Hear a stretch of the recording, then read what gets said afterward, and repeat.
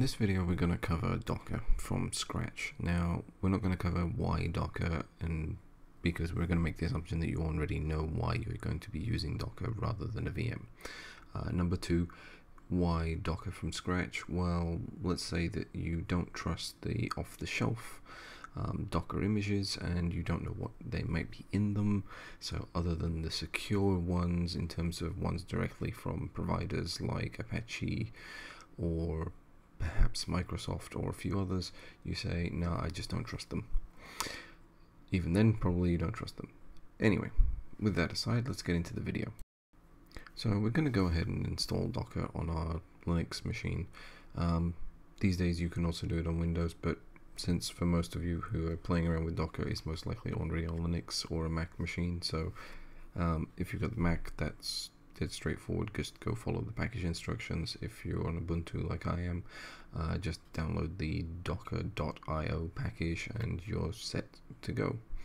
So as you can see, it's relatively straightforward and installs in a few seconds. So after you've got Docker installed, you're going to need to start creating Docker files if you plan to create custom images. You can do it other ways, but this is probably the most sensible one. So I'm going to go ahead and create my folder and create my first Docker file. So the first thing I'm going to need is from, which is a, the, in this case going to be the base image. So I'm going to go with Ubuntu and latest. I could specify a version, but I'm not going to. And I'm going to run the command and I'm going to do an echo out hello world just to prove that we can create a Docker file and from that create the image. So now that we've got Docker file ready, we're going to use the Docker build command to build out that image. That's just going to go ahead and pull in our base image for Ubuntu. Straightforward. Now, after that, we're going to go ahead and we're going to run Docker. But in this case, since I didn't give the package a name, we're going to have to go have a look and see what it is. So if I use the Docker image and list all the ones, you can see there's a one that doesn't have a name and it was created three minutes ago. So that will be the one that obviously is the one I just created. So I recommend always using names when creating packages. So do use the dash minus T and give it a name but if you don't you can always find it. Now as you can see we run our docker and we got a hello world output. But if we do the docker ps we can see that there is no process running. And the reason for this is because it's completed its command. So let's look at a slightly more complex version of this.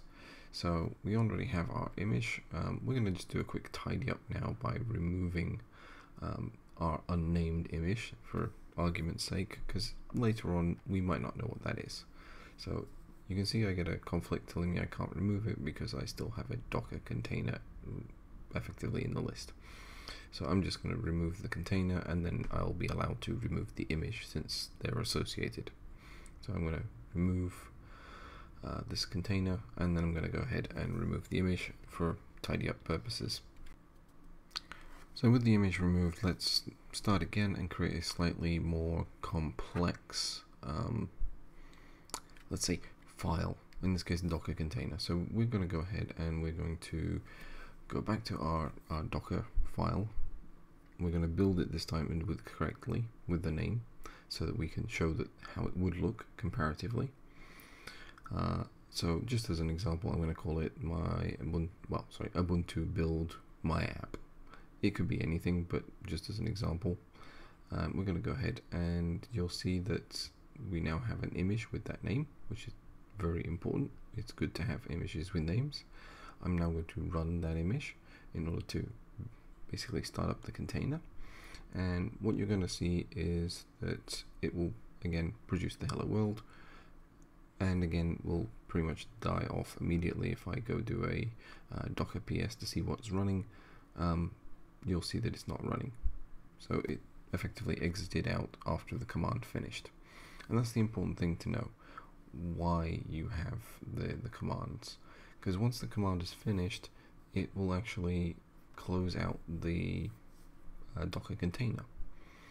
So as an example if you want the docker container to run longer you need something that will stay in the docker container as a uh, running command. So let's go ahead and do some better examples First of all, let's do the most important thing that you can do with any container. We, let's keep it up to date. So we're going to do the regular um, apt get and apt uh, get install. So first of all, we have a, a check package. Then we're going to go ahead and we're going to install. In this case, I'm going to install um, with the no uh, install uh, recommends because we don't want additional packages. We don't want to bloat out our container because amongst other things that's the point of containers is to keep them as small as possible. And I'm going to install curl. And then I'm going to make sure that I clean out anything that I don't need. I could use the auto remove. Highly recommend that you consider that. Um, and we're also going to show you just quickly that you can use the uh, slash carrier to add lines so that you don't need to have this wall of text that scrolls off far too far to read and you get then lost and I'm just going to take out the CMD and we'll come back to that a little later. So this is just going to go ahead and install a Docker container and within that will be curl, nothing more, nothing less. So with this I'm going to build it, should be a straightforward, I'm going to build uh, my app and by the way this is one of the things you should watch out for, capital letters are not supported. So we're going to do it with lowercase and as you can see that runs quite comfortably. Now, since I already know in advance that when I run this, because there's no CMD, it's just going to kill out, I'm going to run it as an interactive session. So if I do the docker run uh, dash it, which is the interactive session, and then the name of the app, it will actually take me to a console or command as I wish. So in this case, I want to go to the bin bash because I want to run the bash shell and I'll quickly have a look. I can run bash commands, I can check that curl is installed, and I can even run some curl commands just to do some basic check. So all's good. So I exit out of that back and I'm going to just go ahead and prove that there is no running container after I've exited. So once I've exited the container, even if I just use the, the ITs and the exits, it, it's, it's closed out. And if I use the D to run it as a daemon, um, again, if I go back and look at the PS, you can see it stopped because again, there's no command to run. So effectively, it fires it up and immediately closes it down. So let's look at a complete config now. What one would look like if you were building the application from scratch. So here's an example configuration where I've got my command running basically Apache from command line. I've got all the updates and some sample configuration for the Apache in my Docker file. So I'm going to go ahead and build this now and then I'm going to run it just to check that all runs as expected. So you can see it built quite quickly uh, since the baseline caches and other containers that it relies on are already there uh, I'm just going to run it and you can see we're using the dash p so I'm going to put the port out from the exposed 80 which is the internal out to 80 only in this case I can't because there's already one running on it. So I'm just going to make this much easier.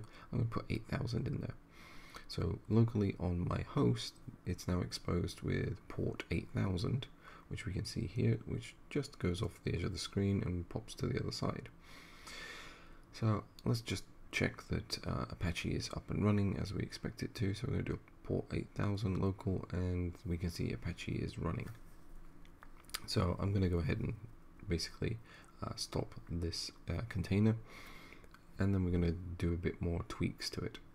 So Dreamy Hover is going to be stopped and then we're going to quickly uh, modify the file.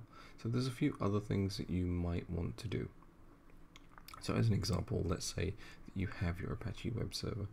One of the things you might want to do is look at some health checks.